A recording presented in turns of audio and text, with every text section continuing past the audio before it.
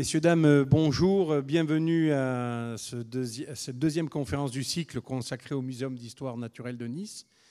Euh, je voudrais remercier euh, nos conférenciers du jour avec que c'est avec beaucoup de fierté et, beaucoup d'amitié que nous les recevons ici.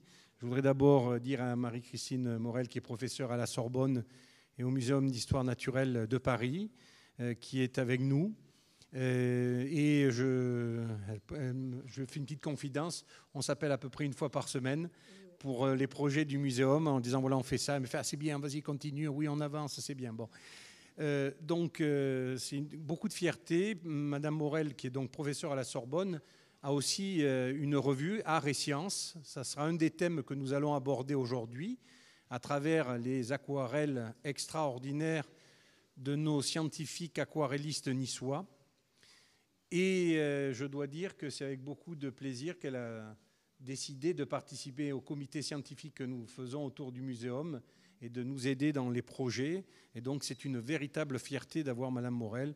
Et je voudrais qu'on l'applaudisse vraiment et on la remercie de sa venue à Nice.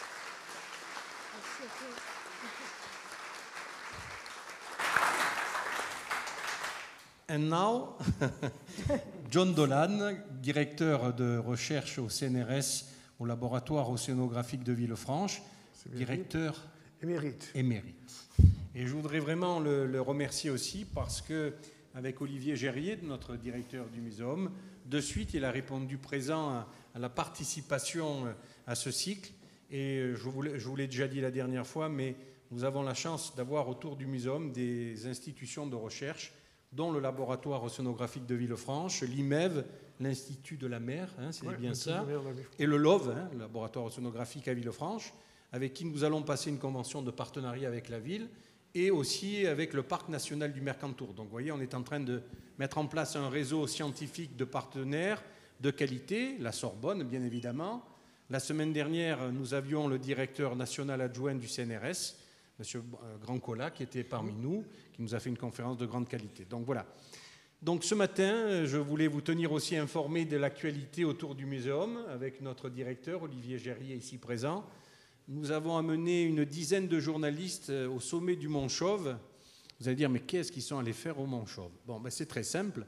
Euh, l'équipe du muséum avait mis en place des, des pièges à insectes et on a, c'est le travail que fait le muséum depuis 170 ans, 177 ans, de collecter des espèces, de collecter, de travailler justement sur la biodiversité. Puis on avait aussi notre euh, botaniste qui a pu montrer aux journalistes euh, ben, la richesse euh, de, ce lieu particulier.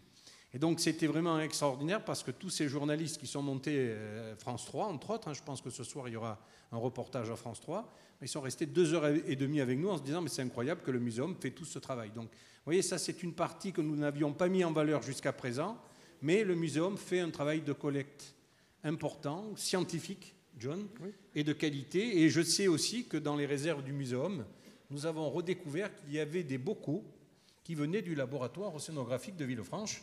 Il y a une quarantaine d'années, un ancien directeur qu'on nommera pas souhaitait se débarrasser de pas mal de, de bocaux de recherche et on a dit non, non, non, on, va pas les, nous on les récupère au muséum et on les a entretenus. Et donc l'année dernière, on était avec la directrice de l'IMEV, Elisabeth, et avec Rodolphe du laboratoire sonographique, en disant ben, peut-être ça serait bien qu'on fasse un partenariat pour mettre en valeur ces bocaux euh, que nous avons entretenus pour vous. Donc ils étaient enchantés, vous voyez. Donc c'est un partenariat à plusieurs, plusieurs euh, étages. Donc voilà, aujourd'hui c'est un moment fort. Vous allez nous parler de nos grands naturalistes, de ceux qui sont à l'origine de notre muséum et du précurseur, Qui est quand même un des plus grands naturalistes niçois, qui a créé l'école des naturalistes niçois. Je voudrais remercier dans la salle d'abord euh, le président de l'association des, amis du muséum, M. Gandioli et son équipe, ici présents, et notamment Joël Defailly, qui est là parce que, vous, savez, il y, a il y, a un secret dans ce muséum, pourquoi il est encore sur place et pourquoi on peut le redévelopper aujourd'hui, c'est que pendant des décennies, tous ces bénévoles, tous les anciens du muséum, ont continué dans le bénévolat à faire vivre ce muséum. Donc aujourd'hui, je dirais, ça m'est facile, avec les équipes autour de moi, de remonter un projet, parce que derrière, eh bien, ils ont continué euh, je dirais, dans l'ombre à faire vivre ce lieu. Et donc, Olivier, je voudrais aussi te remercier vraiment. Et je pense qu'on peut applaudir à la fois John et le travail du laboratoire, et Olivier Gérier et le muséum pour tout ce qu'ils font pour maintenir ce lieu.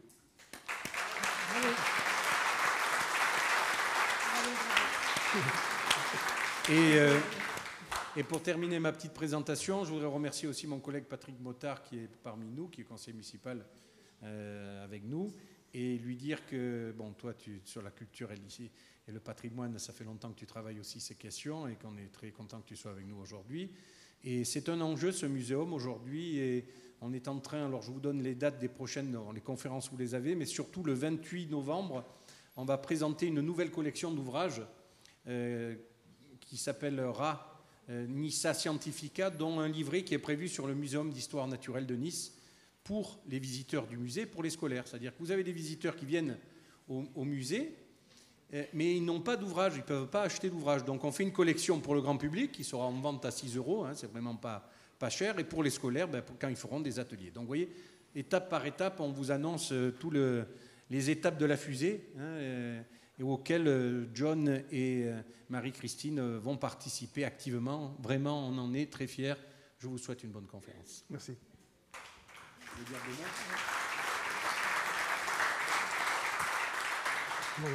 Alors, je vais juste, si vous le permettez, rajouter deux mots, parce que, mais qui sont très importants.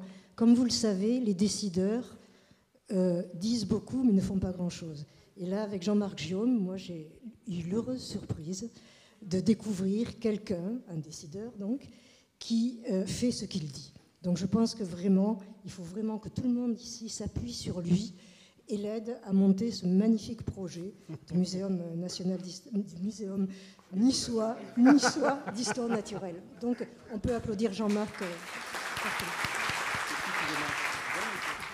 donc je vais vous parler aujourd'hui hein, de Riso et Verlanet et les, vraiment des gens qui ont mis en valeur de mer de Nice. Je, montre cette carte parce que, d'une part, c'est une carte qui tombe à peu près au milieu de la période dans laquelle on, va travailler aujourd'hui, donc 25. Et la mer de Nice, c'est aussi le Baie des Anges et la rade de Villefranche. Et euh, tu vois, euh, même en 1825, ils étaient assez fiers du fait que le, parc du château avait un château dessus. Donc on est toujours assez fiers de notre histoire. Et on va couvrir une période assez longue, brièvement, qui, qui va avec, à travers plusieurs Louis, plusieurs Napoléons, et on va finir avec le belle époque. Et les, technologies ont bien changé, le guillotine, chemin de fer, télégraphe et un peu d'électrique. Donc on va traverser une période de temps assez, assez grande. Le premier naturaliste l'histoire, c'était Antoine Rizeau. Il était né juste avant la, Révolution et il avait une vie qui n'était pas facile. Hein. Il était orphelin comme un jeune garçon, habité avec son oncle maternel, euh, et qui a mis en, tant qu'apprenti, quand il avait 12-13 ans, dans la pharmacie de Châteauroux, qui était une grande pharmacie euh, à l'époque. Et il a fait son diplôme de pharmacie, grâce au autre, avec les cours qu'il a fait euh, chez Faudéré. Il ouvre sa pharmacie quand il a 26 ans.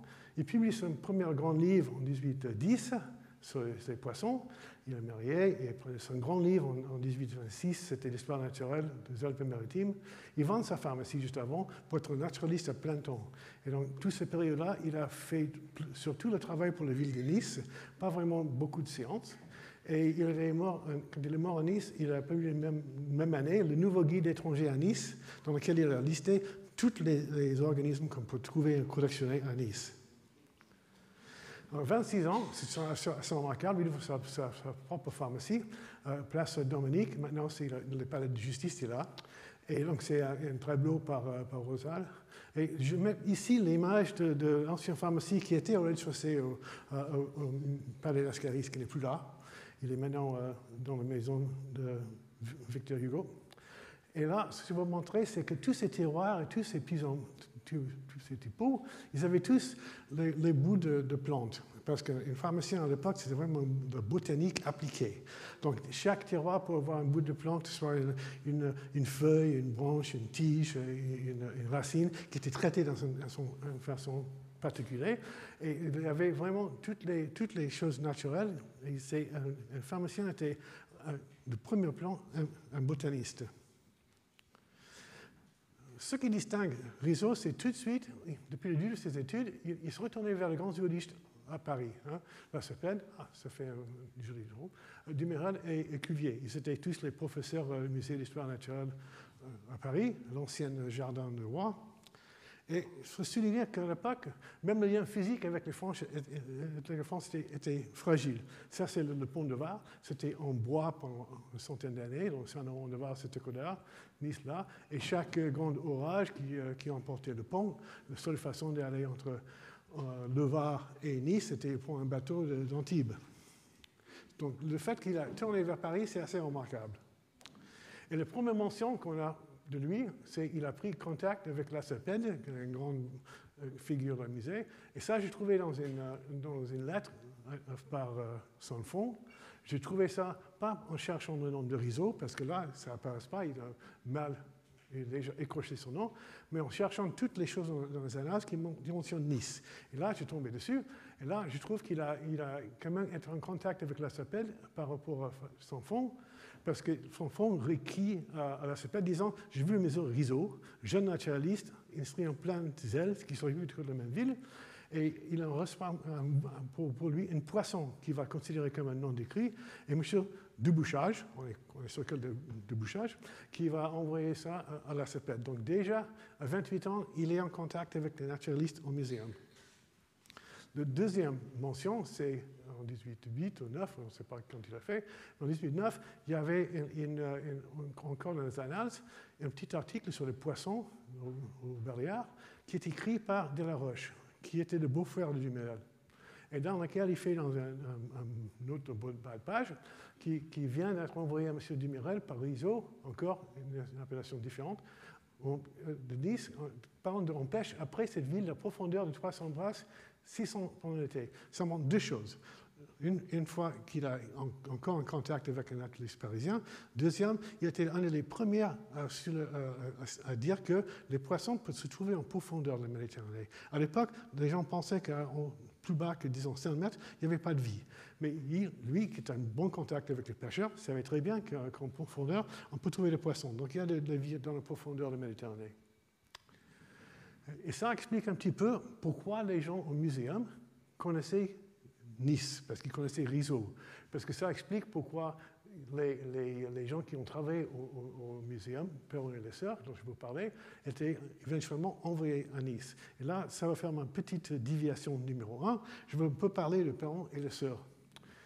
Perron et les Sœurs, ils ont fait le voyage de découverte de terres. Et là, c'était une grande campagne pendant la période napoléonique. Il a envoyé deux bateaux qui avaient à peu près 150 personnes à bord de chaque bateau, donc 300 personnes, envoyés euh, en Australie, en gros, pour savoir ce qu'ils faisaient les Anglais là-bas, et en guise de, l'expédition naturaliste. Et donc, quand ils, étaient embarqués, Perron était embarqué comme médecin et Le Sueur comme artiste. Et ils sont revenus les seuls naturalistes parmi les très peu de survivants. Ils sont revenus avec plein de choses, donc, par exemple, c'est eux qui ont apporté le mimosa en France. La moitié s'est allé à Malmaison, chez Josephine, et l'autre moitié vers allée au muséum. Il y avait une espèce de dispute entre le muséum et, Josephine, mais avec Napoléon, c'était clair qui va gagner. Et là, ils ont, travaillé pendant des années sur un rapport sur tout ce qu'ils ont trouvé. Et pendant le voyage, Père Le avait développé un certain intérêt pour les organismes de plancton marin. Ça, c'est des planches qui étaient dans le voyage de découverte terrestrale. Et on voit les, euh, méduses, on voit les, mollusques pélagiques, et on voit les, euh, calmars, et, toutes sortes de choses. Donc, ils ont trouvé pour le voyage quand ils sont allés en Australie, et sur le retour, et aussi quand ils étaient là. Et après cinq ans de travail à Paris, hein, euh, en, étroite collaboration avec les gens du muséum, ils décident d'aller à Nice. Un grand parti parce que Perron avait vraiment très mauvaise santé. Il avait été tuberculose, je pense. Et donc, ils sont allés euh, aussi pour étudier la faune marine. Et, je pense que c'est le contact que Rizzo a fait avec les gens du musée qui faisait qu'ils étaient allés à Nice.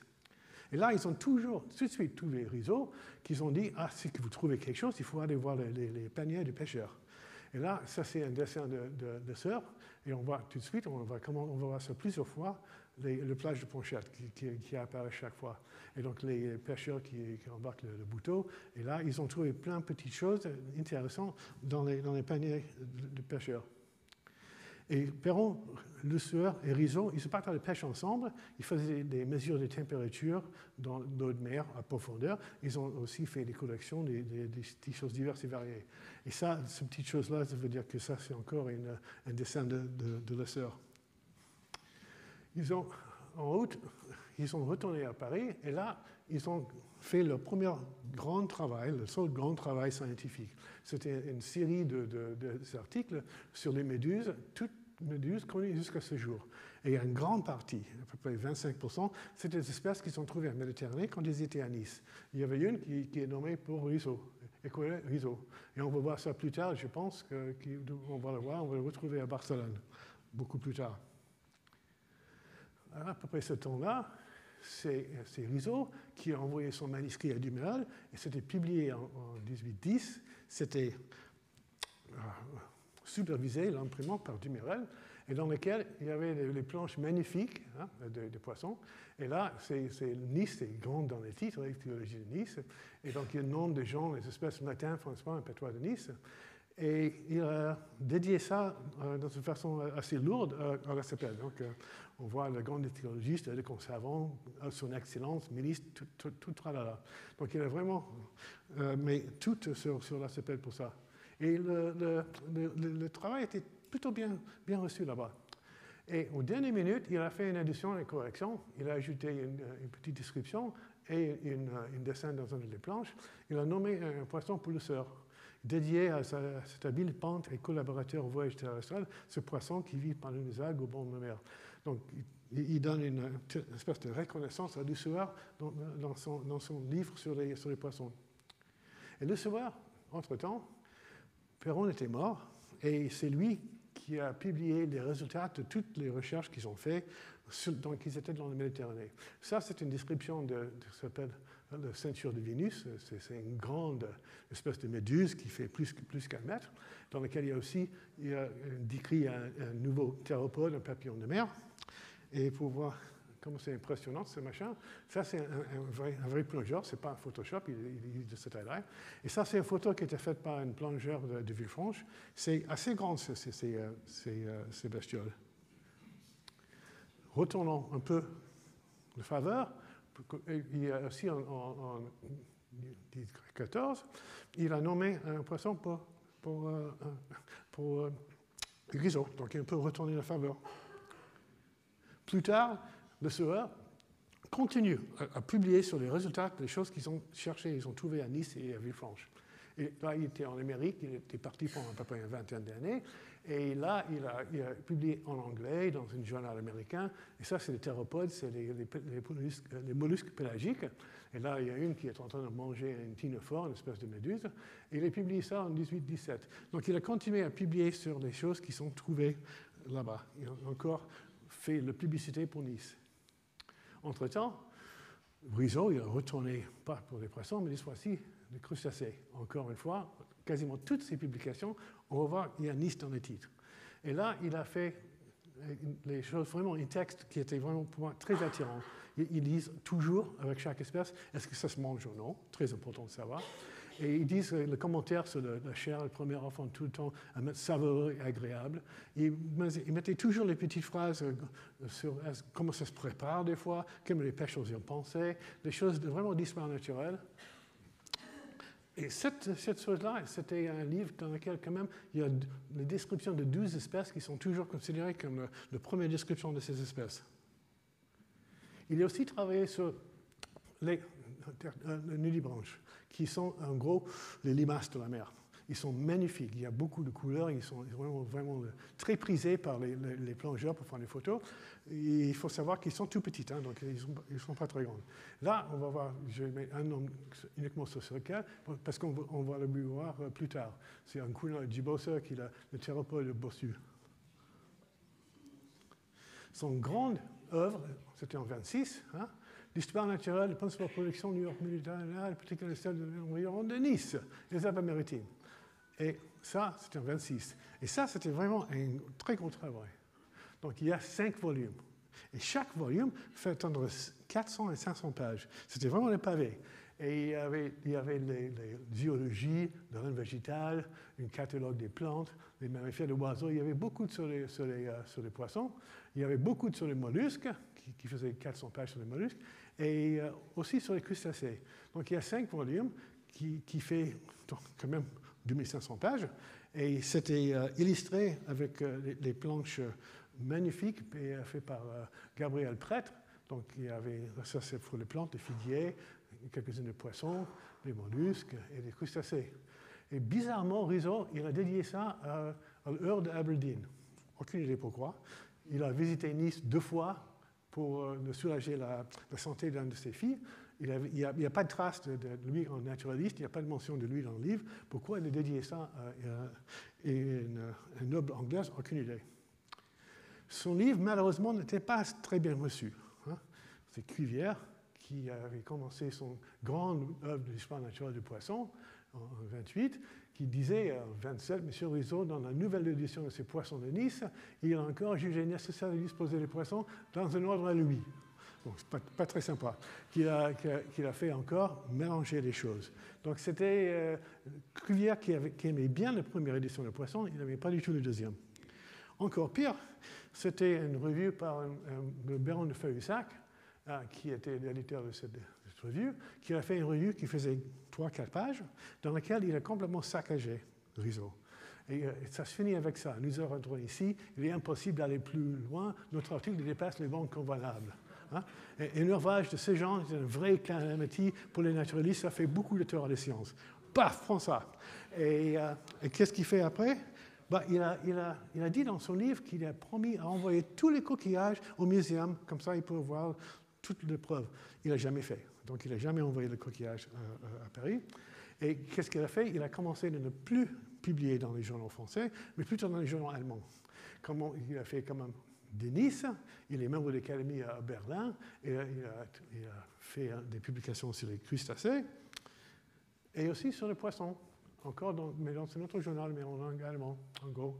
Et là, il a nommé un poisson pas pour Bonaparte euh, Napoléon, mais pour, euh, pour le naturaliste.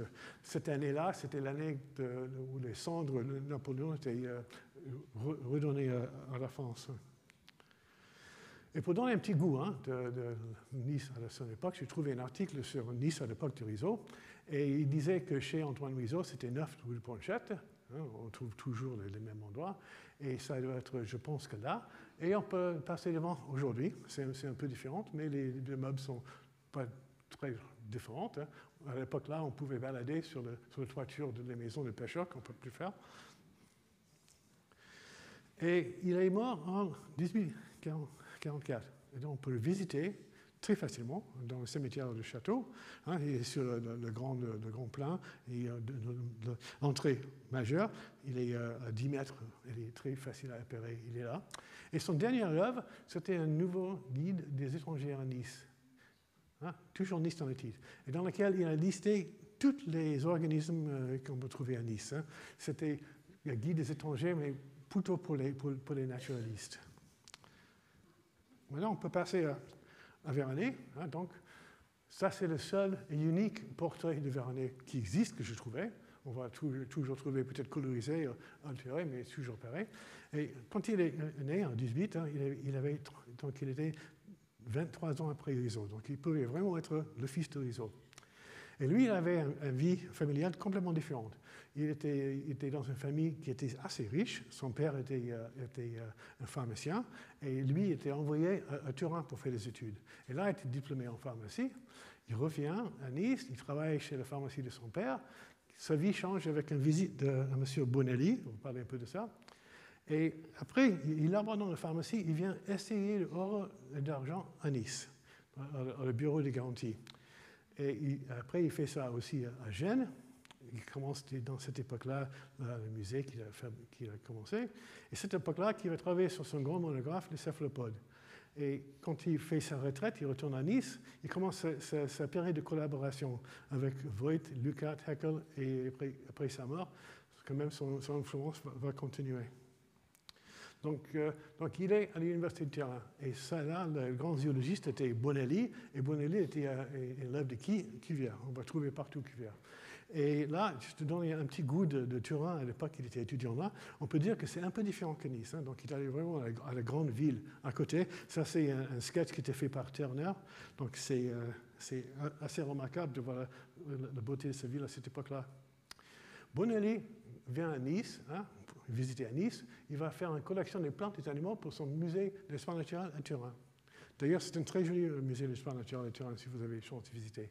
Brunelli était plutôt branché ornithologue hein, des, oiseaux, mais il voulait tout pour faire ce musée. Et donc, c'était un guide par Veranet hein, qui, lui, qui va ramener partout pour voir tout ce que tu peux trouver. Et c'était pas mal, pas mal, beaucoup de temps après que, que décide de lui spécialiser dans les mollusques marins. Et à 26, il abandonne la pharmacie hein, et il va plus de temps pour être un naturaliste. Il devait essayer hors l'argent. Si j'ai bien compris, c'est eux qui testent un, morceau de, l'argent alors pour savoir à quelle valeur ça devrait être. En réalité, je n'ai pas trouvé exactement ce que c'est que c'est une, métier pareil. En 26, Cuvier, encore, hein, il, est en visite à Nice euh, sur la ville de Cuvier et aussi pour faire des recherches sur cephalopodes pour qui Ferrosac, le grand ennemi de, de Rizzo, ce qui est saccagé Rizzo. Et euh, en 28, il, dédiait une, espèce à Vérané, son ami, et il, écrit un article en, 1933 en, recommandant littéralement à chaque naturaliste qui visite à, Nice de passer chez, euh, chez Verani. Et donc cette espèce qui était Octopus verani qui, qui est décrite pour lui. Il a dit que l'autre espèce était envoyée à Bonelli, à Turin, le grand maître de, de, de 34, c'était une année assez importante pour Vernet. Il, a, trouvé de nouvelles espèces, une à la plage de Ponchette, donc on a toujours la plage de Ponchette. Ça, c'est le dessin qu'il a, fait, qu'il a trouvé sur la batterie de, de, la Ponchette. Et là, il a vu de Ponchette quand euh, la plage était couverte plutôt des, filets. Maintenant, c'est couvert de touristes. Et euh, qu'est-ce qu'il fait avec ça? Il envoie des spécimens et ses dessins Hein, il, il, envoie à Ferrosac, qui était quand même le grand euh, chef de, mollusques, si on peut dire, à Paris. Et avec la demande de dédier une à Bonelli, c'est tout, qu'il a décidé en 2003. Et Ferrosac décrit une communication en octobre.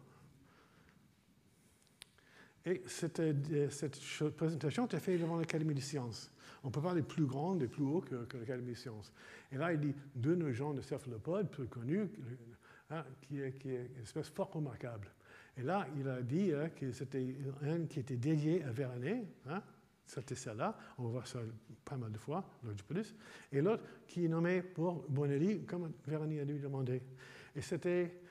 Euh, les, présentations étaient, supervisées, si on veut, par Duméal. Donc on a toujours les mêmes personnalités à, Paris qui, qui sont dans cette histoire.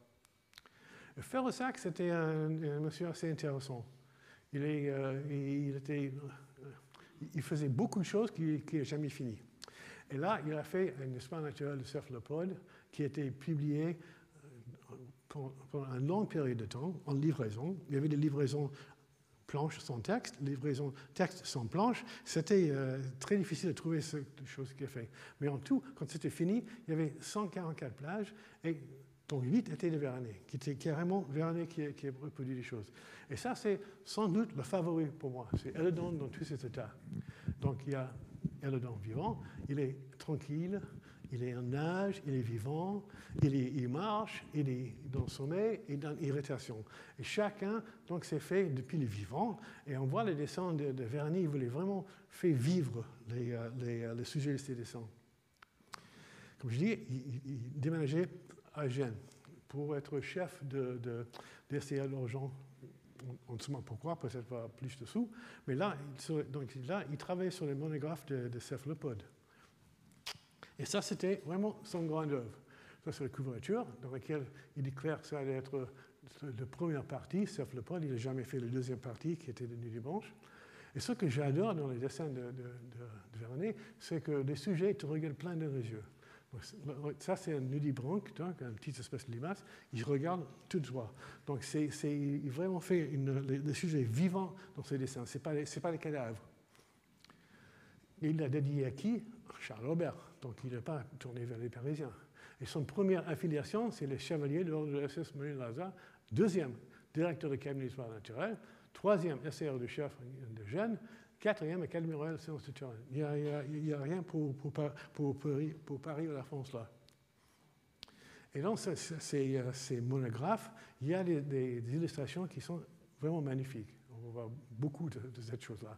Donc, Octopus vulgaris, euh, l'argonaute, ça, c'est Octopus mactopus, euh, qui est, sur, le, la façade de le muséum, avec ses tentacules, et euh, le, calmar qui qui dédié à, Bonelli, un autre pour un autre Rupelli, et ça, c'est Verani euh, que, Ferrosac a nommé pour, lui. Et là, on va avoir beaucoup aussi, ces petites choses.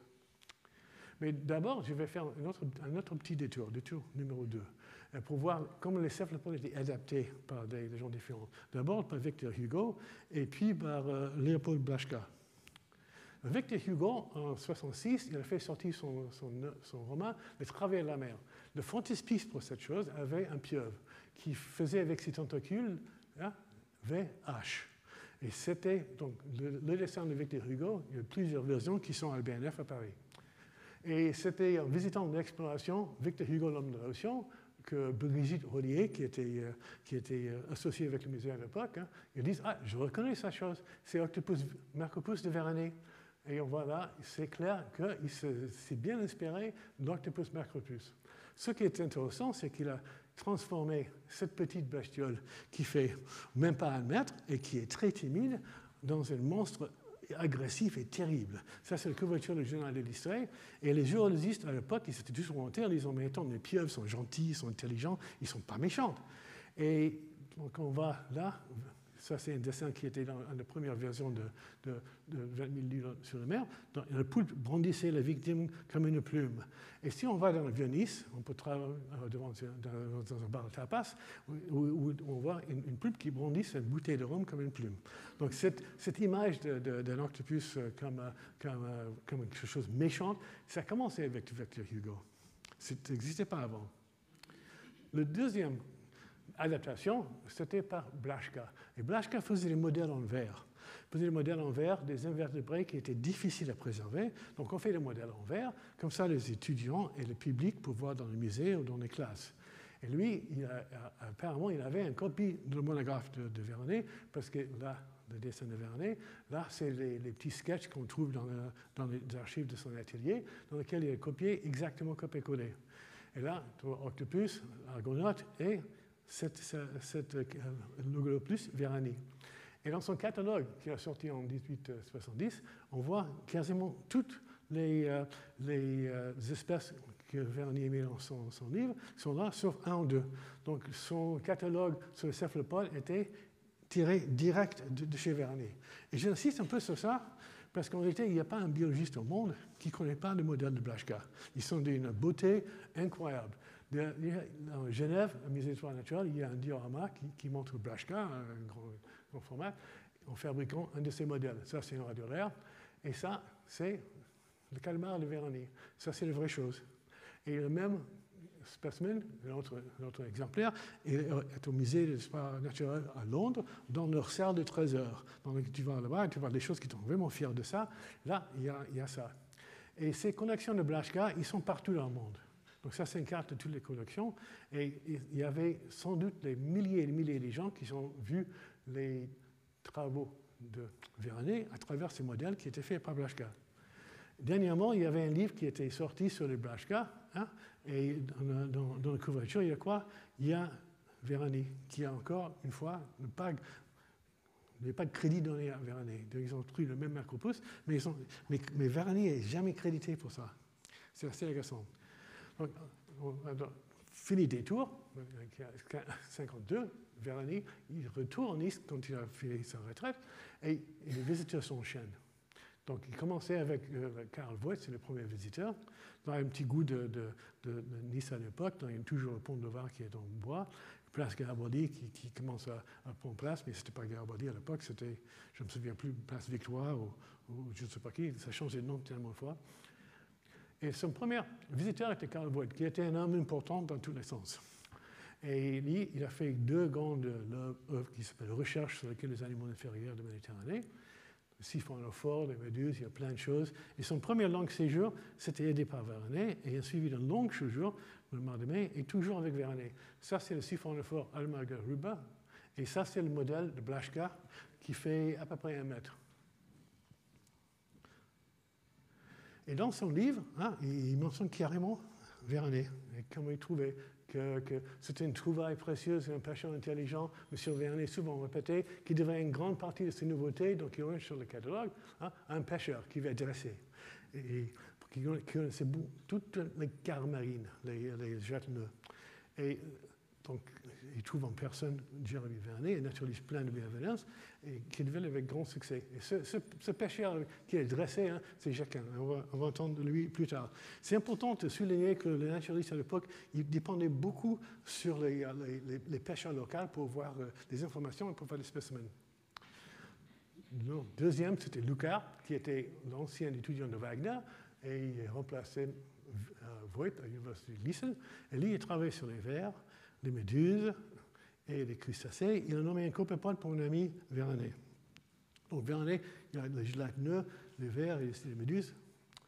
Le troisième, grande importance, c'était Johannes Müller, qui était un, très important professeur de médecine à Berlin, mais très attaché à la mer. On voit l'oursin qu'il a eu dans la main. Et en 1956, il était à Nice avec sa famille pour étudier les micro-organismes de plancton. Et on sait depuis euh, les lettres qu'il a, écrites qu'il était assez fier d'être complémenté par la femme de Veranet pour sa division à ses études. Donc on sait qu'il y a un très proche contact avec Veranet. Müller a présenté Kohleker, un autre, un autre professeur euh, allemand, et ses étudiants en Veranet, et Veranet a plaidé la matière pour échantillonner. Très important, c'est que Müller, quand il était à Nice, il y avait un de ses étudiants à Kohleker qui s'appelle Ernest Haeckel, et il a dit à Ernest Haeckel devrait étudier les radiolaires. Les radiolaires, c'était le sujet de Müller juste avant sa mort. Il a travaillé sur les, les, radiolaires des, des Mittelmeer, la Méditerranée. Ça, c'est une, des planches de ses livres. Hein. Ça, c'est les radiolaires. Ils font à peu près 200 microns, donc 0,2 mm. Et ça, c'est des dessins. Ça, c'est des micro, euh, photomicrographes que j'ai fait, des spécimens que je trouvais dans la radio Villefranche. C'est des, organismes vraiment magnifiques et assez énigmatiques à, l'époque. Donc, Ernst Haeckel commence il y a 22 ans, première visite. Hein. Donc, il est là, un jeune homme. Ça, c'est une vue de Villefranche, 56. Euh, et il a trouvé dans la, dans radio Villefranche cet spécimen-là qu'il a dessiné plus tard. Ça, c'est un exemple vivant. Il a, dit plus tard hein, que c'était à, Villefranche qu'il a vu pour la première fois les cystines et contre-mètres cystines vivants, ces formes fantastiques sur l'étude de laquelle je passé tant d'années plus tard. Donc la première fois qu'il a vu ces radioleurs vivants, c'était à Villefranche. Et c'était à Villefranche où ils étaient quand même aidés par, euh, par, à cette, visite-là. À peu près la même année, c'est le premier euh, guide de visite euh, qui, pour, pour Nice, dans lequel quand même, il, commence à avoir des dimensions spécifiques de tous les organismes marins dans le plancton qu'on peut trouver. Hein. Et on trouve en la baie de Nice des merveilles, des agrégations, des polypes, des richesses, les, les agamas, les phosphores, les phosphores. Et pour familiariser avec ces agrégations, pour la plupart des natures gélatineux, gélatineux encore, on pourrait consulter le bel de M. Vérani. Et si on veut voir avec ses yeux il faut choisir un beau jour, en belle mer, faire un bateau, quelques excursions dans la Golfe avec Joaquin. Donc là, Joaquin a, carrément un pub dedans pour aller faire des gens pour visiter la, faune en Nice. Pas beaucoup d'années plus tard, il, a, est passé dans la gauche, on peut dire, 65. Et euh, on peut visiter son, tombeau aussi, c'est sur le premier étage au cimetière, et ça donne exactement, quasiment exactement sur, euh, le tombeau de, de, de Son dernière œuvre, c'était le zoologie d'Alpes maritime, au catalogue de tous les animaux observés dans le département. C'était en gros un catalogue hein, pour, toutes les choses. mais l'histoire ne, ne, s'arrête pas là, parce que son influence pour les gens qui, sont, sont, avaient un contact et, les gens qui ont connu son boulot a fait que, vraiment, c'est à partir de ce moment-là que ça commence à être élargi partout. 65, c'est un livre pour le, monde populaire, sur le monde de la mer. Et qu'est-ce qu'il y a dans le frontispice hein? Donc, il y a Méduse, la côte de Nice, découverte par Karl Voigt. Par Karl Voigt, quand il était par Veranet. Et on va parler beaucoup de siècle, il est important cette histoire. Donc on a commencé à 56, on l'a déjà dit. Il a visité encore en 62, ça c'est des images de 65, ça. Et là, quand il est un vieux homme, euh, c'est une partie un peu plus importante. tout ça, ça continue après le, mort de Véronique. 64, il est envoyé à Nice par ses parents parce qu'il est euh, sévèrement déprimé après la mort de sa jeune femme. Et les parents ont dit, un Haeckel, il était très content qu'il était à Nice, on va l'envoyer, ça va sortir de son déprime. Là, il a fait des observations sur radiolaire, encore des choses microscopiques qui fait un dixième de millimètre. Il a découvert une méduse qui est nommée femme.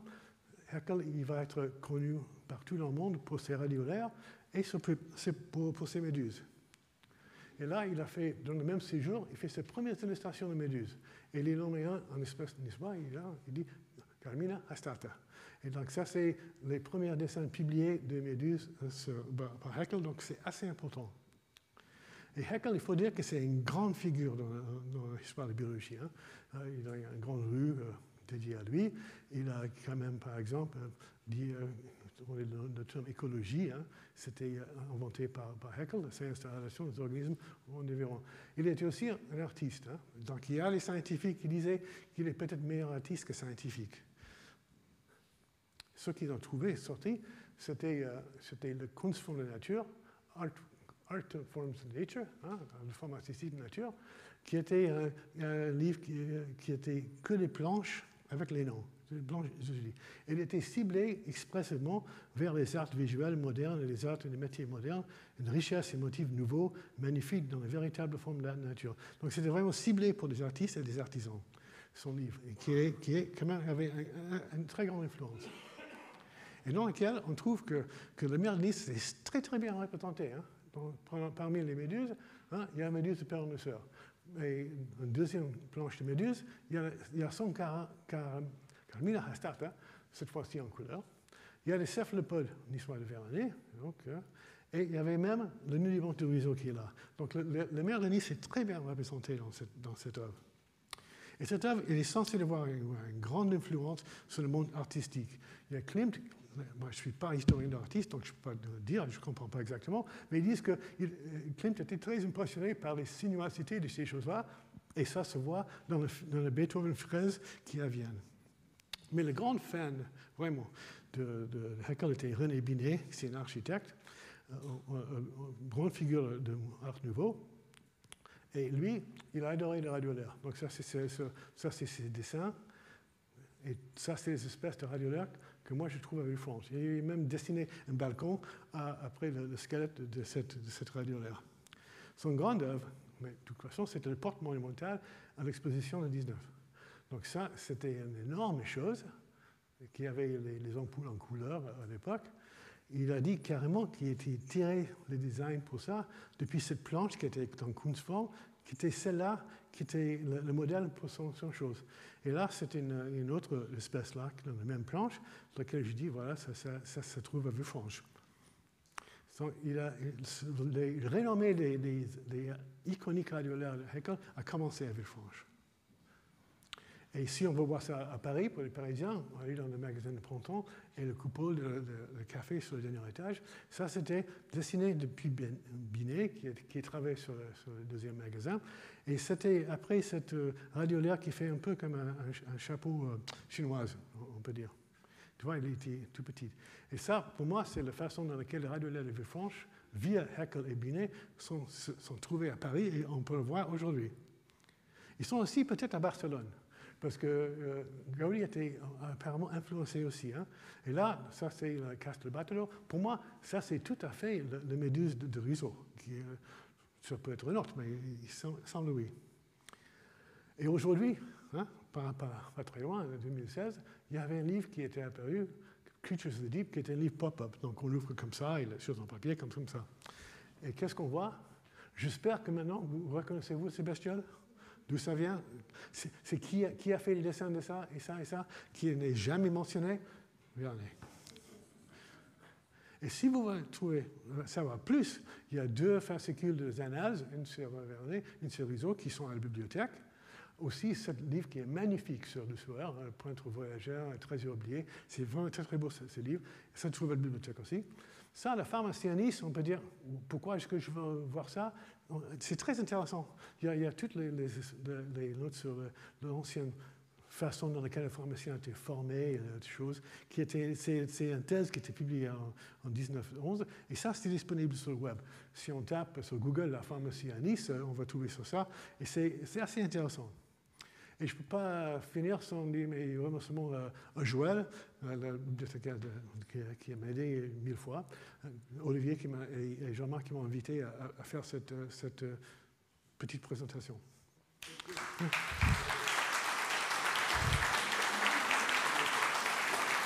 Merci. Merci. C'est difficile de passer après une si belle conférence si complète. Enfin, John est vraiment fait un, travail depuis de, nombreuses années, euh, à la fois d'histoire, des sciences, euh, histoire des arts et histoire des arts et sciences. Donc, je vous recommande la lecture de beaucoup d'articles très très intéressants qu'il a publiés dans la revue Arts et Sciences, mais aussi ailleurs. Et puis, euh, enfin, on aura des questions tout à l'heure, mais c'est vraiment son topo était vraiment extrêmement riche en illustration, en histoire. Enfin, c'était très bien. Je me suis régalée. J'espère que vous aussi. Donc, euh, euh, moi, ce que je, vais par, contre être un petit peu plus euh, superficielle, ne pas aller comme ça en, profondeur, parce que je voudrais à la fois vous présenter les arts et les sciences depuis les antiquités, mais vraiment en, allant très très vite, hein, en, enjambant les siècles. Je voudrais à la fois également vous présenter le, euh, le, rôle de Nice dans les, euh, arts et les sciences et dans l'illustration euh, scientifique, et puis le rôle d'un musée d'histoire naturelle, et savoir comment à Nice, avec tout ce passé glorieux, eh bien, on peut construire ce qui est en train de se faire en ce moment, renaître, faire renaître un grand musée d'histoire naturelle. Donc, euh, aux origines des sciences du vivant. Alors évidemment, je, suis quelqu'un qui travaille sur les origines, hein, sur les origines de la vie, etc. Donc, dès que je peux placer ce mot origine, je le place. Mais je pense que là, il a, toute sa place. Donc, aux origines des sciences du vivant, euh, nous avons donc, à mon avis, euh, les arts et les sciences, et en particulier à Nice. Donc, je vais vous présenter dans quelques instants les travaux précurseurs de Jean-Baptiste Varla, euh, naturaliste, euh, scientifique naturaliste, et Vincent Fossa, qui n'était pas du tout naturaliste à l'origine, mais qui était un, aquarelliste et un peintre de très très grand talent. Et les deux, les deux compétences, les, deux arts, d'une certaine manière, se sont rencontrés pour donner une production absolument euh, extra, extraordinaire. Alors, je vous ai dit que j'allais balayer très... attendez, je m'en vais pas, je reviens parce que je vais vous présenter quelque chose après. Euh, je, vous ai dit que j'allais balayer très très rapidement euh, à travers les siècles pour bien euh, préciser ce que l'on entend par... alors, art et science, c'est un sujet extrêmement controversé. Il y a des gens qui disent que les, les sciences ne sont pas les arts et les arts ne sont pas des sciences. c'est extrêmement très très, c'est un débat très très intéressant. Mais là, en ce qui nous concerne, nous, objets naturalistes qui nous intéressent, c'est de voir comment cela a progressé et comment cela existe de fait depuis, euh, depuis des, dizaines et des centaines d'années. Vous savez que donc euh, art et sciences étaient liés, ont été liés jusqu'au XVIe siècle sur le plan esthétique. Par exemple, Aristote disait que les formes les plus importantes du beau sont euh, l'ordre, la symétrie. C'est ce que font apparaître les sciences mathématiques, donc la beauté, c'est-à-dire le premier attribut de l'art, hein, c'est la beauté eh bien, c'est lié aux sciences mathématiques. Et puis, évidemment, Piero della Francesca, qui a été l'un des premiers à installer la perspective dans l'art, dans les compositions naturalistes, était à la fois peintre et c'était le plus grand mathématicien du XVe siècle. C'est lui qui, à la suite, je ne sais pas s'il y a des mathématiciens dans la salle, a réintroduit euh, tout le travail de Fibonacci euh, donc dans, euh, dans l'arithmétique et, l'algèbre occidentale dès le XVe siècle. Et puis, évidemment, on ne peut pas ne pas citer Léonard de Vinci, qui lui-même se définissait comme scientifique, sculpteur, peintre et, euh, botaniste. Chacun a entendu parler, ne serait-ce qu'à l'école élémentaire de Bernard Palissy, qui, euh, euh, qui était un artiste, un écrivain, un artisan, un savant, et qui a été l'un des premiers a montré publiquement un cabinet de curiosité parce qu'il voulait démontrer que les fossiles, à l'époque, ce n'était pas très très connu, hein, la paléontologie n'était pas très développée, eh bien les fossiles, c'était des restes des débris animaux. Et puis, euh, il, opposait à l'époque, de manière, c'était un, grand polémiste, il opposait à l'époque donc le contact direct avec la nature aux philosophes qui trouvaient leur science dans des livres écrits en latin. Vous verrez qu'on y reviendra dans quelques instants. Je voudrais citer également euh, donc, au XVIIe siècle, donc vous voyez, on a, je vous ai mis un exemple à peu près par siècle depuis. Euh, et John Ray, qui était un très très grand naturaliste, on peut dire que c'était le père de l'histoire naturelle en Grande-Bretagne, britannique, et qui écrivait déjà, donc précurseur lui dans son temps, un livre de botanique sans images serait comme un livre de géographie sans carte. Donc là, je crois qu'on mettait déjà les pieds dans le plat de euh, l'illustration euh, de l'illustration naturaliste. Et puis évidemment, vous connaissez sans doute l'article art de l'encyclopédie de, de Diderot, qui disait, selon lequel l'histoire de la nature est incomplète sans celle des arts. Donc art et science est vraiment euh, extrêmement pertinent sur le plan de l'illustration scientifique, les cartes, de, les cartes géographiques, les cartes de, botanistes, enfin, etc. Donc euh, l'idée, c'était donc, nous nous retrouvons tout d'un coup donc à, l'aube du 19e siècle, où depuis Bernard Palissy, donc tous les cabinets de curiosité commençaient à fleurir partout, partout en Europe. Et ils ont peu à peu cédé le pas grâce à l'intervention d'un très très grand naturaliste euh, euh, suédois, Carl von Linné, qui a fondé ce que l'on appelle la systématique. Alors Carl von Linné a fait un travail absolument considérable. Par ailleurs, il était extrêmement euh, désagréable, créationniste, fixiste, enfin, etc. Mais les êtres humains, vous savez, ne sont pas tout un, hein, ils, sont, multiples, ils sont diversifiés même en eux.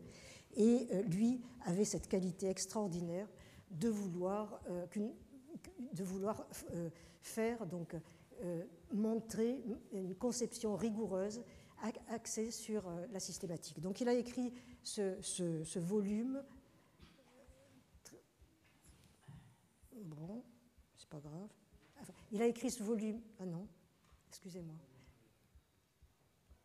Oh, écoutez, je suis désolée.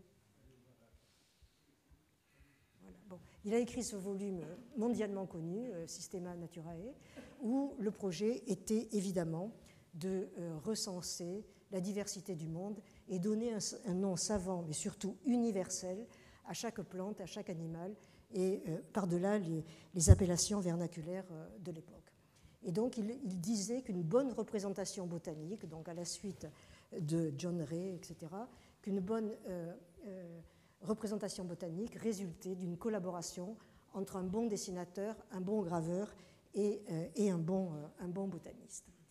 Alors, là, je mets une petite parenthèse. J'avais mis une diapo, puis je me suis dit non, ça ne va pas.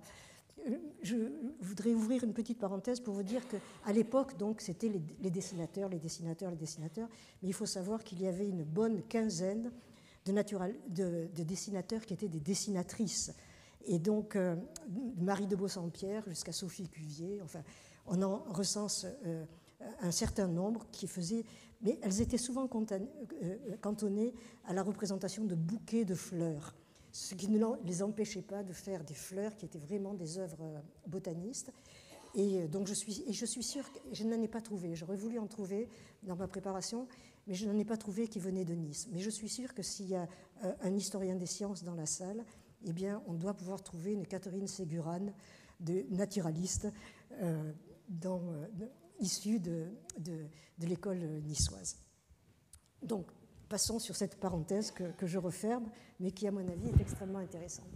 Donc, euh, en 1793, création du Muséum national d'histoire naturelle, dont le but était de rassembler les, les, collections des trois ordres, minéral, végétal et animal, dans un but très clairement précisé, dès 1793, de recherche scientifique, d'enseignement et de transmission au public, trois thèmes que nous allons reprendre tout à l'heure à la suite des travaux que je vais vous présenter de euh, Barla et, Fossa. Donc, euh, avant la Révolution, quatre musées seulement existaient en France et avaient pris le relais des cabinets de curiosité. 82 le seront au cours du 19e siècle. Donc il y a eu vraiment une explosion, une explosion des, musées dès le, le 19e siècle. Alors c'est sous l'impulsion des maires de Nice, Adrien Baralis et François Malocena, là je parle sous le contrôle de monsieur, monsieur Guillaume, eh bien, c'est sous l'impulsion de ces maires que le plus ancien musée municipal de Nice a été donc le musée euh, d'histoire naturelle qui s'est appelé pendant longtemps le musée Barla.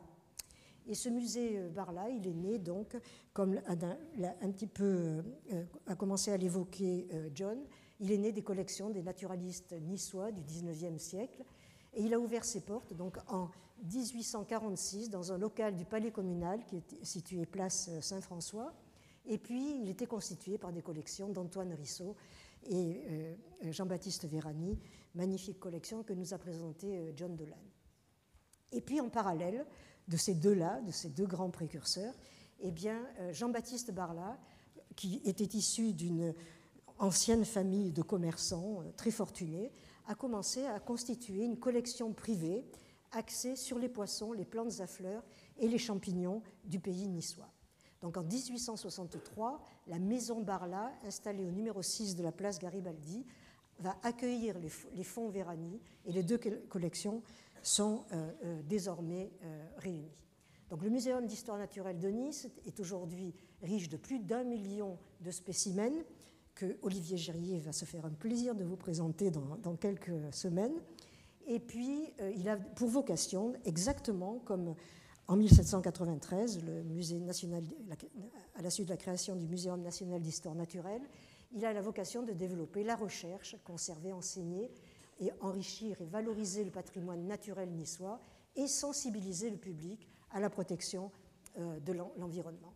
Et au XIXe siècle, chose absolument extraordinaire, et même déjà en partie au XVIIIe siècle, mais vraiment cela a explosé au XIXe siècle, l'histoire naturelle faisait partie de la culture générale, ce qui n'est plus le cas aujourd'hui. Hein, l'histoire naturelle du vivant faisait partie de la culture générale. Il n'y avait pas un salon intellectuel qui se tenait indépendamment de euh, l'appréciation euh, des dernières découvertes scientifiques. Ça a été une époque où il y avait des, grandes expéditions. Évidemment, on connaît les, expéditions euh, d'Alexander von Humboldt, on connaît les expéditions de Darwin, enfin, etc. Donc ça a été une époque d'une richissime euh, euh, actualité naturaliste euh, fantastique. Donc, à l'époque, donc, tout le monde s'intéressait à l'histoire naturelle du vivant. Donc, nous arrivons au sujet pour lequel je pense que vous êtes venus essentiellement aujourd'hui, c'est-à-dire Jean-Baptiste Barla et Vincent Fossa. Donc, merci John. C'est Vincent Jean-Baptiste, je vais commencer quand même par euh, le scientifique. Hein. Euh, Jean-Baptiste euh, Barla est né en 1817 à Nice, vous le voyez ici, ce monsieur avec la barbichette. Il est né donc dans la province de Nice, qui à l'époque était dans le royaume de, Sardaigne, et il est mort le 6 novembre 1896 à Nice, qui était devenu entre-temps Alpes-Maritimes en France. Donc la spécialité de, Barla fut très très, très vite euh, les orchidées et toute la flore de Nice, et puis les champignons. On connaît aujourd'hui 3000 moulages, c'est considérable, 3000 moulages de champignons en plâtre, en cire ou en papier mâché, dont vous pourrez euh, trouver euh, quelques exemplaires dans le, le Muséum d'histoire naturelle de Nice. Et puis Vincent Fossa, qui est né en 1822 à Nice, toujours dans la province de Nice, royaume de Sardaigne, et qui est mort en France il était donc né d'une des plus vieilles familles niçoises, originaire de la province d'Imperia. Et euh, il est mort le 27 février 1897 à Nice, en France, cette fois-ci euh, Alpes-Maritimes. C'était un illustrateur reconnu pour sa création du premier, euh, sa participation à la création du premier fonds iconographique du Muséum d'histoire naturelle de Nice. Alors, dès 1853, les deux se sont rencontrés Barla, soucieux de rigueur scientifique, euh, euh, soucieux d'exactitude et de rigueur, et Vincent Fossa, qui était un aquarelliste, un artiste bohème, qui allait sur la plage et qui peignait comme ça, sur le vif, avec spontanéité et émotion. Et ils ont trouvé tous les deux un espace commun que j'appelle, moi, art et sciences, euh, sciences euh, naturalistes. Alors l'alliance Barla et Fossa s'est développée pendant 37 ans, produisant des richesses artistiques dont je vais vous parler absolument considérables. Et à ce moment-là, la représentation naturaliste s'est faite à quatre mains, c'est-à-dire que le naturaliste s'est systématiquement euh, solidarisé et associé à, un dessinateur. Et l'écart entre art et science s'est mu en ce que l'on appelle une réciprocité euh, créatrice. Alors, je vais vous parler maintenant d'un livre absolument extraordinaire que je vous présente ici. Vous le voyez, donc je vous le recommande. Il est normalement en vente euh, je fais de la publicité donc, euh, c'est aux, éditions euh, Giletta. Je pense qu'il va y avoir une réédition. Donc ce livre a été coécrit donc, par Brigitte Rollier et Joël Defailly, qui est ici présente dans la salle, qui est une véritable illustratrice naturaliste, qui fait des dessins absolument extraordinaires, qui a trouvé maintenant une jeune alliée qui, bientôt vous sera, vous sera présenté. Et donc on a là euh, peut-être les, futurs, les anciennes et futures Séguranes hein, de, l'illustration. Et, euh, et, donc dans ce livre euh, que, je vous recommande vraiment d'acheter, alors sur le site, j'ai encore regardé hier soir de Giletta, il est en vente à 10 euros. Je ne comprends même pas qu'on peut vendre un livre avec d'une richesse iconographique absolument extraordinaire. Vous avez 168 pages de planches d'exception, mais je ne sais même pas je sais pas comment vous les montrer, tellement elles sont belles. Regardez. Enfin, tout le livre est fait d'illustrations de ce type. Je vais vous en montrer quelques-unes euh, sur, l'écran, ça sera plus, plus visible. Et bien donc, euh, ce livre est, toujours en vente, mais je crois qu'il faut, euh, il faut s'assurer. Ça a été hier soir encore sur le site. Mais bon, assurez-vous, ça coûte 10 euros, franchement, c'est même pas le, prix d'une revue dans un kiosque. et c'est vraiment un livre absolument extraordinaire. Donc euh, ce, livre qui s'appelle Le cabinet de curiosité, on aurait pu l'appeler Éloge de la, curiosité, il est euh, euh, tout le, fond d'aquarelles exceptionnelles qui sont présentés dans ce livre sont rassemblés au sous-sol du muséum actuel, au muséum d'histoire naturelle de Nice actuellement, et vous y trouvez donc des champignons de toutes sortes, des orchidées, des fruits, des plantes, des fleurs éphémères, des poissons aux couleurs vivantes, etc. Et aujourd'hui, les illustrations qui sont dans ce livre illustrent un certain nombre de publications de, l'UNESCO. Donc euh, c'est vraiment une recommandation très profonde que je vous fais de vous procurer, de vous procurer cet ouvrage. Alors, euh, vous voyez par exemple dans cet ouvrage et dans les planches qui sont dans les sous-sols du musée d'histoire naturelle de Nice, des orchidées euh, qui ont été peintes par Fossa, Vincent Fossa ici, vous avez sa signature, et qui ont été euh, recueillis, cueillis par Fossa, donc sur les collines de Pessicard. Et puis, vous avez également d'autres catégories d'orchidées ici, au fris. Et puis, vous avez ces magnifiques iris, là, que vous voyez, iris sicula. Et puis, et puis vous avez également ces champignons, chers, tellement chers à, Jean-Baptiste Barla, et puis, vous avez encore d'autres champignons, des figuiers. Enfin, toute euh, cette iconographie, vous l'avez dans, ce livre. Et quand vous ne l'avez pas dans ce livre, eh bien, elle est dans les sous-sols du musée Barla, qui bientôt va remonter à la surface. Nous comptons sur, euh, sur nos décideurs. Donc, euh, vous avez ce, type de, dessin absolument extraordinaire. Et donc, c'est un objet de recherche, toutes ces, collections, ces, ces illustrations sont un objet euh, de recherche scientifique car ils permettent donc un inventaire exhaustif de la diversité naturaliste terrestre et marine et de son histoire.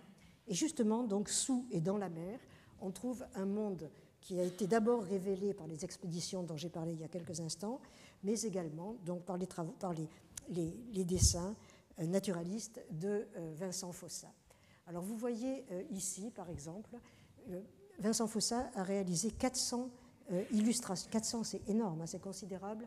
Euh, aquarelles de poissons, qui sont euh, des illustrations provenant du fond toujours du musée d'histoire naturelle de Nice, et en association avec Barla.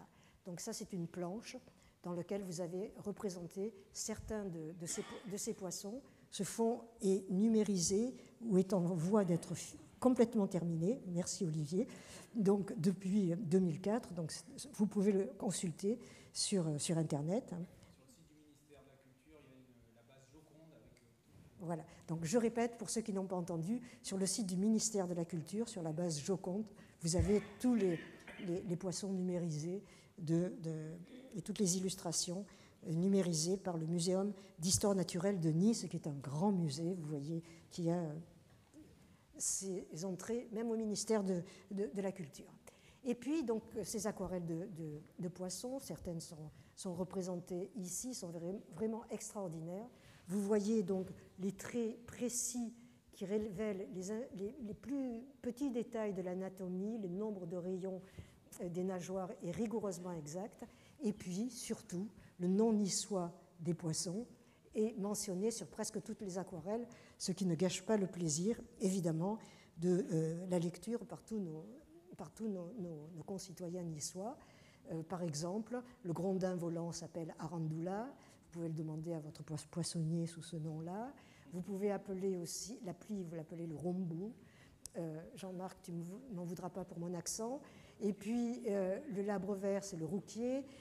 la fausse limande, c'est les pampalotti. C'est bon et puis euh, le grondin lyre, c'est la galine, le sar, euh, c'est le mour et agout.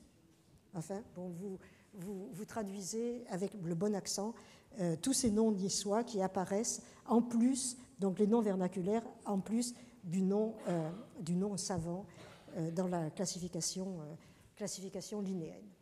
Donc, je continue quand même sur ces aquarelles qui sont vraiment géniales. Vous voyez ici que les couleurs sont vivantes euh, à partir de poissons qui sont prélevés directement dans les filets et la plupart du temps qui sont entre guillemets terminés, achevés à terre. Hein. C'est-à-dire que Vincent Fossa attendait l'arrivée des bateaux pour euh, être sûr d'avoir le poisson sur le vif, c'est-à-dire avec les vraies couleurs, parce qu'au bout de quelques heures, sur les, étals des poissonniers, euh, ça se ternit, et c'est vraiment, vraiment, vraiment dommage. Et puis, en plus de ça, euh, Fossa était commençait à être euh, avec, sous la direction et en, accord avec Barla, était aussi devenu, avait des préoccupations scientifiques. Et vous voyez ici qu'il euh, ajoutait au, dessin, il a ajouté un dessin au-dessus de la tête, d'une mâchoire, un œil qu'il dessinait, qu'il dessinait par exemple ici. Tous ces détails qui peuvent paraître superflus comme ça, on regarde surtout la beauté des couleurs et, de la forme, mais en fait, c'est ce qui rend possible la recherche scientifique, c'est-à-dire la, la, distinction entre deux espèces et puis l'attribution à, une espèce plutôt qu'à une autre, et qui permettent à des scientifiques aujourd'hui encore d'utiliser les aquarelles de Fossa pour travailler sur la faune euh, méditerranéenne. Donc, euh, petite euh, cerise sur le gâteau, vous avez ici une Squatina angelus, et c'est parce que ce poisson est extrêmement, ou était extrêmement abondant en Méditerranée, que nous avons la, baie des anges a été, a été baptisée, à partir de la découverte et l'abondance de ce poisson dans notre mer Méditerranée niçoise. Donc, vous avez. Alors là, vous avez. Je vais vous dire deux, trois mots de Haeckel, bien que John vous l'ait vraiment présenté dans le détail et sur le plan historique et ses rapports avec les uns et avec les autres.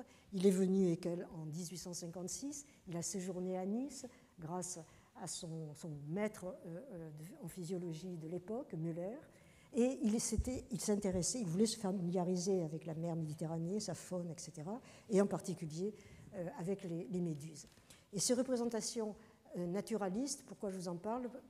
C'est dans le cadre art et sciences, ces représentations considérablement influencé l'art du début du, XIXe siècle. Et par exemple, si vous allez au musée océanographique de Monaco, eh bien vous verrez que les lustres en verre de Constant Roux au musée océanographique de Monaco utilisent les modèles de Haeckel. Et puis, tout comme la porte monumentale de Binet, dont euh, John a parlé, à l'exposition universelle de Paris. Et puis la maison de, de, à Iéna s'appelait Médusa, comme par hasard. Et, et, euh, euh, dans les ornements de la façade, on, aperçoit de très très nombreuses méduses de, Nice. Donc Ekel est un scientifique absolument incontournable qui est évidemment discuté, mais c'est normal que l'on discute en science, à savoir euh, est-ce qu'il était plutôt artiste ou plutôt scientifique. Mais en tout cas, c'était un artiste, ça c'est indiscutable, et c'était un scientifique remarquable. C'est lui qui a fondé le, terme écologie, donc ce n'est pas un mot euh, à, négliger de nos jours. Et puis, il a apporté énormément de connaissances dans la faune méditerranéenne, en protistologie, euh, etc. Donc, deuxième mission fondamentale des musées Barla, du musée, d'histoire, naturelle, c'est euh, l'enseignement. Alors le dessin, comme vous le savez peut-être, ça vient du latin designare, qui signifie marquer l'origine, le début, etc. Et dès l'école élémentaire, vous savez qu'on vous apprend, on apprend aux enfants à, dessiner grâce à l'observation, on, on leur apprend à observer, et euh, à faire des observations fidèles, non, trafiquées, détaillées, compréhensibles. Et on leur apprend également le dessin expérimental avec des gommages, des rectifications, etc. Et les personnes ici qui ont fait du dessin auprès de, des enfants eh bien, savent exactement tout ce que cela apporte à nos, enfants à l'école élémentaire pour, euh, euh, pour l'apprentissage du monde dans lequel, nous vivons. Le trait permet d'apprendre en dessinant. Et puis, on apprend aussi en dessinant, parce qu'on observe, et on peut identifier des espèces. C'est ainsi que s'est construite toute l'histoire naturelle du vivant, par l'observation d'abord euh, des espèces qui étaient découvertes, aussi bien sur le plan botanique que sur le plan euh, zoologique, que sur le plan d'ailleurs minéralogique. On observe des fossiles, on observe des roches, et on, les dessine, et, on, apprend ainsi à les caractériser. Et puis on peut, euh, comme ça j'ai rajouté, je me suis dit, s'il y a des étudiants en sciences de la mer, euh, ou si vous avez des enfants ou des petits-enfants, eh bien, ils font beaucoup de plongées sous-marines, ils peuvent s'attarder sous l'eau. Ceci peut susciter un certain nombre de discussions extrêmement fortes et fondamentales euh, chez les étudiants universitaires sur les propriétés optiques, par exemple, de l'air et de l'eau. On y reviendra tout à l'heure avec un peintre fameux qui a longuement peint et dessiné, euh, dessiné à Nice. Donc, euh, troisième mission extrêmement importante du Muséum d'histoire naturelle, et ça depuis sa création, depuis ses origines, c'est euh, donner et sensibiliser le public à l'environnement, répondre aux questions, répondre aux questions donc sur les effets de l'environnement. Par exemple, nous savons que des spécimens tirés de collections qui datent de 30 à 50 ans ont, permis de mettre en évidence le changement de plumage dans des populations de chouettes hulottes. Par exemple, le réchauffement climatique a réduit le couvert neigeux et a donc la fréquence du euh, morphe de la couleur foncée a augmenté au détriment de la couleur grise blanchâtre et cela a offert un meilleur camouflage aux chouettes euh, hulottes soumises donc à ce, au réchauffement climatique dans cet environnement-là. Grâce aux collections, on peut suivre les effets du réchauffement climatique sur la réduction de taille des passereaux, et ceci grâce aux collections qui datent de plus de 150 ans, hein, qui vont de 1860 à 2001. Et toujours grâce aux collections d'histoire naturelle, on peut mesurer par une technique physique, la photométrie, réflectance photométrique, la quantité de poussière de charbon incorporée dans le plumage de plusieurs espèces d'oiseaux. Et les premiers d'entre eux avaient été capturés. Donc, on s'intéresse aux oiseaux déjà capturés au XIXe siècle.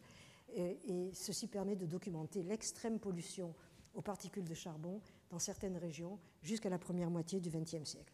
Donc, rassembler, faire des collections, faire ce qui a été fait ce matin au Mont Chauve, d'aller prendre des insectes, les mettre dans des boîtes, les analyser, les étudier, c'est fondamental. C'est un des premiers pas fondamentale de la recherche scientifique. Et franchement, il ne faut pas s'arrêter, il faut vraiment continuer avec la plus grande ardeur. Donc, euh, sensibiliser également, bon, mais ça, je prêche peut-être des convaincus dans la salle, eh bien, euh, sensibiliser les décideurs, à l'environnement. Il se trouve que tout à fait récemment, il y a eu une réunion du G13, c'est-à-dire des plus grands musées européens et nord-américains, qui travaillent actuellement au rassemblement de, toutes les collections pour faire pour créer un One World Collection, exactement comme on a des, bases de données mondiales, de séquences d'ADN, ou de fossiles, ou de météorites, etc. On est en train de faire la même chose au niveau international avec les collections. Donc cette activité de collection est vraiment fondamentale et euh, mérite vraiment, vraiment toute, toute notre attention. Alors, donc pour, euh, je vais terminer quand même sur, euh, sur des gens illustres que tout le monde connaît. Par exemple, Matisse. Alors, j'ai parlé de Matisse, de, des plongées sous-marines. Eh bien, moi, j'ai appris en préparant ce, document que Matisse était un, fervent plongeur. Enfin, il a pratiqué la, la, plongée sous-marine et donc il a connu, enfin, il a appris, il a qualifié ce deuxième ciel et en plongeant, il a appris à distinguer la qualité de, lumière entre les deux milieux, le ciel et la mer. Vous voyez ici ce magnifique tableau, Tempête à Nice. Et puis euh, cette mer qui était qualifiée par le ciel d'en bas, et c'est encore un autre illustre habitant de Nice, euh, Alphonse Carr, qui a qualifié euh, la mer de, ciel d'en bas. Et donc, encore un mot sur Alphonse Carr qui, était, qui est à l'origine de la première bataille des fleurs de Nice. Hein. donc quand vous allez au printemps, euh, après le carnaval, eh bien, participer à la bataille des fleurs, pensez à, Alphonse Carr, c'est lui qui a créé cette bataille. C'était un grand floriculteur qui s'est adonné à la vente des fleurs, des fruits, des légumes, etc. Il avait ouvert une boutique même à Nice. Et puis, il connaissait parfaitement les jardins si bien qu'aujourd'hui, sur le marché, normalement, vous devez pouvoir trouver des poires Alphonse, Alphonse Carr, des bambous, Bambouza multiplex Alphonse Carr, et puis des dahlias qui ont été renommés en son nom euh, grâce, à, euh, grâce à lui. Il a aussi publié un traité intitulé Comment insulter les plantes en latin, mais ça c'était son côté journalistique, humoristique, euh, etc. Enfin, je voudrais que vous prêtiez attention à ces trois images. La première, ici, c'est euh, une photographie extrait de, euh, euh, du port de Nice, donc au tout début du 19e siècle. Vous savez que la photographie a été inventée par Nicéphore Niepce, qui est, qui est l'inventeur de la photographie, et qui a vécu dix ans à Nice au début du 19e siècle. Et donc vous voyez cette photo du port de Nice, qui est absolument remarquable, il se trouve que c'est un de mes étudiants qui me l'a offert parce qu'il savait que j'étais niçoise. Et donc, il m'a offert cette euh, reproduction. Hein, c'est pas l'original. Et, euh, voici donc, euh, je vous la montre ici. Et puis, une photo récente du port de Nice. Il y a quand même une ressemblance absolument extraordinaire dans, ces deux, dans ces deux photographies. Et puis, je vous montre ici un tableau d'un immense peintre qui a vécu à Nice, Nicolas de Stahl, et euh, qui a vécu trois ans à Nice. Avant ça, il habitait Antibes. Et puis, juste avant sa mort, un an avant sa mort, il a, représenté ce tableau, le rouge et le noir, c'est la couleur de Nice. Hein. Mais pas seulement. Si vous laissez aller votre regard flotter entre les trois photos, vous verrez qu'il y a une ressemblance absolument considérable. C'est ce que j'ai essayé de faire et j'y suis arrivé, c'était merveilleux, entre ces trois représentations. Et Nicolas de Stahl eh bien, a donc peint ce tableau qu'il a appelé Nice et vous savez que Nice est mondialement connu, puisque Barack Obama, pendant ses deux mandats à la Maison-Blanche, avait demandé que soit exposé dans son bureau ovale le tableau de euh, Nicolas de Stahl, Nice, qui a maintenant, après euh, le, départ de Barack Obama, a rejoint le Musée national de, Washington. Donc euh, voilà un petit peu, voilà Nice. Pour moi, Nice, c'est tout ça.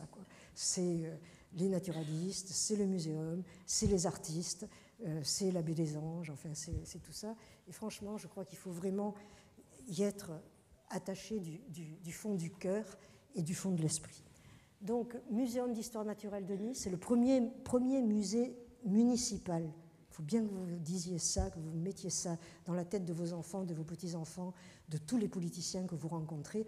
La municipalité de Nice a créé un musée un jour, une fois, le premier musée municipal, c'était le musée d'histoire naturelle euh, de Nice. Donc il ne faut pas faillir à ses origines. Il n'y a rien de pire que de renoncer à ses origines. Et euh, donc des naturalistes et des artistes ont contribué à la renommée mondiale du patrimoine naturaliste et naturel de Nice. Et donc aujourd'hui, plus que, jamais, compte tenu de la situation environnementale que nous connaissons tous, pas simplement à Nice, mais euh, partout dans le monde, eh bien, l'histoire naturelle du vivant doit faire partie de la culture générale, comme elle le fut au XVIIIe et au XIXe siècle, avec des précurseurs niçois absolument remarquables et mondialement connus. Et donc, le Muséum d'histoire naturelle niçois doit être et sera et est déjà un musée des origines, de l'histoire naturelle et, euh, et, du futur. Donc je vous remercie pour votre attention.